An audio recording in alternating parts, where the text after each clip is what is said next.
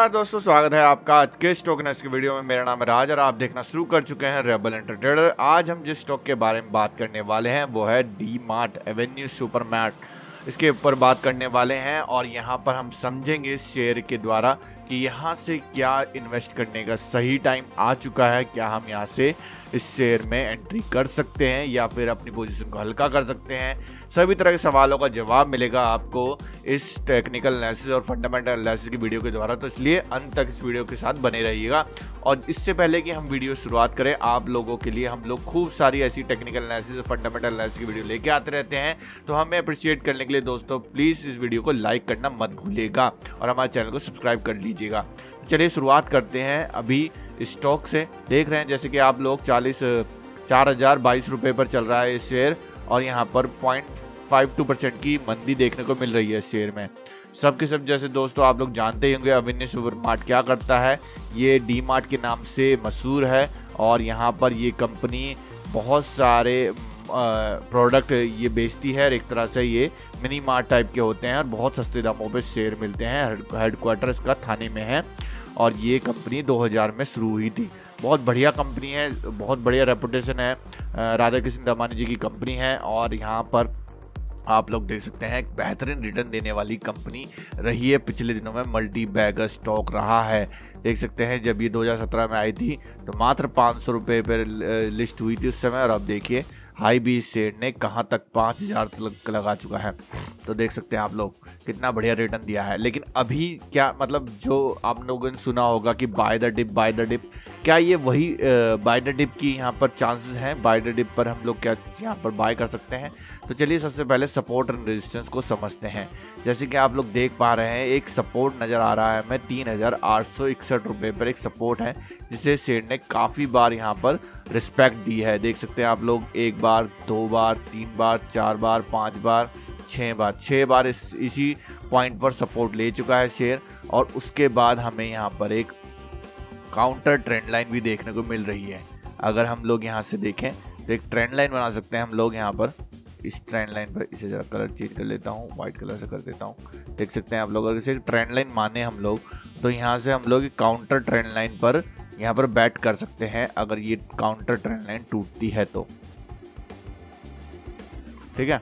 और counter trend line टूटती है अगर यहाँ से, और तो हम लोग यहाँ पर बाई की पोजीशन बना सकते हैं और स्टॉप लॉस हमारा रहेगा इस वाले सपोर्ट के नीचे। तो मतलब कि अगर हम यहाँ से टूटने पर ट्रेंड लाइन टूटने पर देखिए लॉन्ग की पोजीशन अगर यहाँ पर बनाते हैं तो स्टॉप लॉस आपका यहाँ पर रहने वाला है तीन सौ का।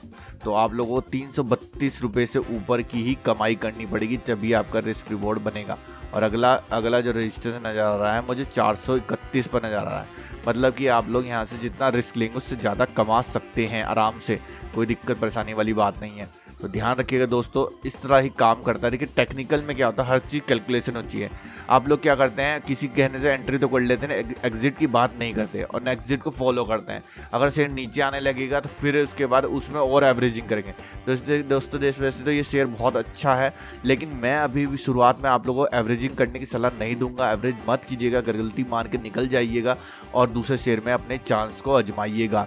ऐसे मत कीजिए, क्योंकि आपकी कैपिटल खत्म हो जाएगी, आप दूसरा शेयर भी नहीं ले पाएँगे। तो इसी के चलते दोस्तों, अपने कैपिटल को बचाना ही सबसे बड़ी यहाँ पर आपकी मुहिम होनी चाहिए।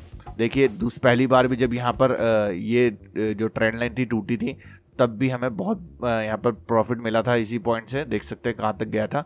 अगर हम लोग यहाँ पर एंट्री करते, ये बहुत अच्छी एंट्री थी। ये सबसे बड़ी एंट्री यही थी, अड़तीस हज़ार की। अड़तीस हज़ार अड़तीस सौ पे एंट्री हुई थी और देखिए प्रॉफिट कहाँ से छियालीस सौ तो बहुत बड़ा प्रॉफिट देखने को मिला था। तो शायद ये हो सकता है दोबारा भी हमें इसी तरह का प्रॉफिट देखने को मिले।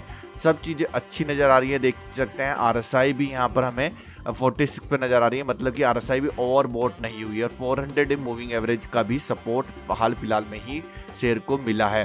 तो हर चीज़ पॉजिटिव है। बस दोस्तों, आप लोगों को अपनी क्वांटिटी मैनेज करनी है। आप लोगों को ओवर क्वांटिटी नहीं पकड़नी है इसमें। पहली बात तो ये बहुत महँगा शेयर है, कुछ लोग तो वैसे ही डर जाएँगे, लेकिन दोस्तों देखिए, पैसा जब महँगे स्टॉक में ही बनता है, सस्ते स्टॉक में पैसे नहीं बनते, उसमें पैसे डूबते ही डूबते हैं। तो दोस्तों, मान लीजिए आप लोगों का यहाँ पर तीन सौ बत्तीस रुपये का स्टॉप लॉस अगर बन रहा है तो दोस्तों आप लोगों को एक काम करना है। आप लोगों को पहले ये दिमाग में सोचना है कि मैं इतना लॉस सह लूँगा तो मुझे कोई दिक्कत नहीं आने वाली। दस हज़ार बीस हज़ार पचास हज़ार एक लाख का जो भी आपका लॉस सहने की क्षमता है उस क्वांटिटी उस उस उस, उस अमाउंट को इस इस नंबर से डिवाइड कर देंगे तीन सौ बत्तीस रुपये तो आप लोगों का निकल के आएगा स्टॉप लॉस आप लोगों की क्वांटिटी निकल के आ जाएगी। तो फिर उस क्वांटिटी से आप लोग जब यहाँ पर एंट्री करेंगे तो आप लोग घबराएँगे परेशान नहीं होंगे और आराम से अपना प्रॉफिट अर्न कर पाएँगे। तो चलिए यहाँ पर समझते हैं फंडामेंटल देखेंगे। दस हज़ार दस हज़ार करोड़ का रेवेन्यू जनरेट किया है। ज़बरदस्त रेवेन्यू आठ परसेंट का प्रॉफिटेबल मार्जिन है। और यहाँ पर देख सकते हैं नेट प्रॉफिट कमाया है सात सौ तीस करोड़ का। बढ़िया प्रॉफिट कमाया था सितंबर तिमाही में नेट प्रॉफिट था ये।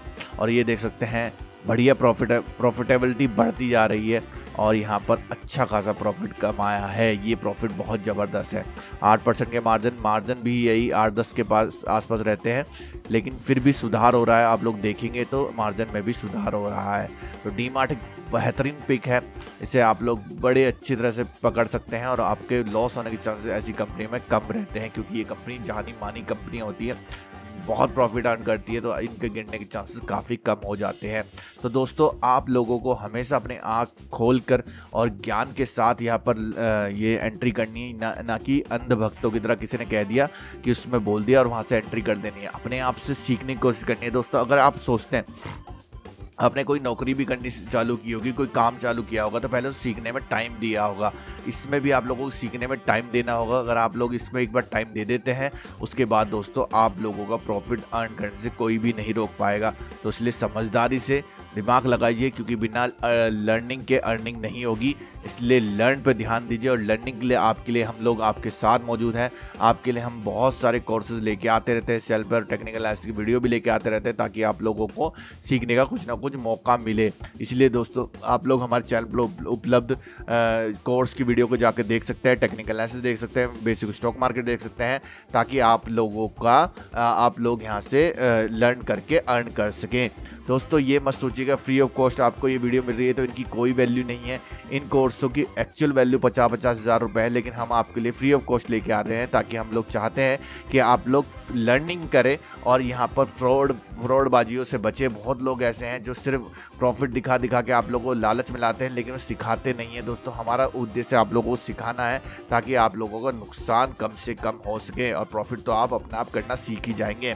तो दोस्तों अभी के लिए दोस्तों, आप लोग अगर चाहते हैं अपनी इस लर्निंग कर्व को तेज़ करना, लर्निंग स्पीड तेज़ करना तो दोस्तों, आप लोगों को अपने दोस्तों के साथ ग्रुप बनाना होगा जिसमें आप लोगों को हमारे चैनल पर उपलब्ध वीडियो को शेयर करना होगा उनके साथ ताकि वो सीखें और आप लोग साथ में सीख कर आगे बढ़ सकें और एक दूसरे की गलती सीखें। अगर कोई भी दिक्कत, परेशानी, आपको डाउट आते हैं तो आप लोग हमें कमेंट बॉक्स में पूछ सकते हैं। साथ साथ अगर आप चाहते हैं किसी और स्टॉक के बारे में जानना, समझना तो वो भी हमें कमेंट बॉक्स में बता सकते हैं। हम आपके लिए उस पर डेडिकेटेड वीडियो बना देंगे।